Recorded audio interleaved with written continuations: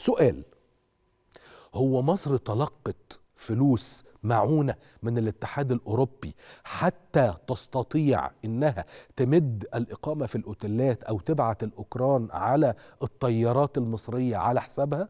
لا في دول كتير بصرف النظر مين هي الدول في أحيان كثيرة زي ما حصلت الأزمة السورية على سبيل المثال خدوا من اليوروهات مليارات يعني في دول تلقت فوق الخمسة مليار يورو علشان تستقبل اللاجئين السوريين. نهينا بقى المعاملة كانت حلوة المعاملة وحشة ده حدوتة تانية. لكن مصر الحقيقة ما استقبلتش سنت واحد ومش عاوزة ومش فارق معاها. مصر بتتعامل بمجموعة من المبادئ الثابتة التي لا تحيد عنها.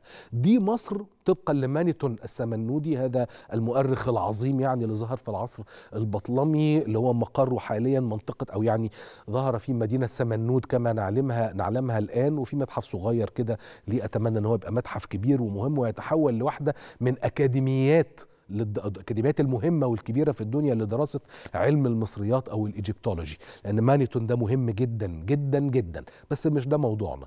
فمن أول ما مانيتون أو طبقا لمانيتون أرخ لمصر أنها دولة دولة بمؤسسات وجيش بقالها النهاردة أكتر من 8260 سنة.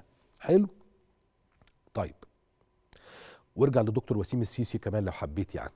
المهم يا سيدي في ال 8000 سنة دول مصر ولا مرة حادت عن هذا المبدأ ألا وهو أنه الإنسان قيمة تحترم. وبالتالي مصر لما تستقبل زمان إخواننا من العراق دون قيد أو شرط. مصر لما تستقبل إخواننا من سوريا دون قيد أو شرط. مصر لما تمدد ضيافة مش هقول لك إقامة ضيافة الأوكران في الأوتيلات أو في الفنادق المصرية على حساب الدولة دون قيد أو شرط. مصر لما تاخد إخواتنا في الإنسانية الأوكران علشان يرجعوا إلى بلاد قريبة من وطنهم الأم طبقا لاختيارهم بالمناسبة يعني على حسابها دون قيد أو شرط دون أن تطلب دون أن تتسول دون أن تمد اليد. مصر بتعمل ده فقط لأنها مؤمنة بقيمة الإنسان.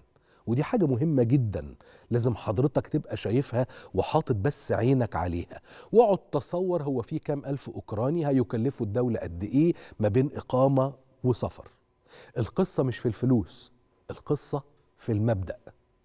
ودي حاجة مهمة القصة في المبدأ. هضرب لك مثل قد يكون مش هو.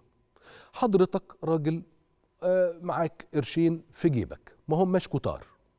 وصادفت شخص يحتاج شيء ما شيء ما ملح. فليكن دواء مهم جدا لحياته. فلتكن شربة ماء فلتكن أكلة ما. فحضرتك تكتشف إنه تكلفة ده تقريبا نص اللي في جيبك. مثلا ربعه ايا كان. أنت في احتياج لكل مليم.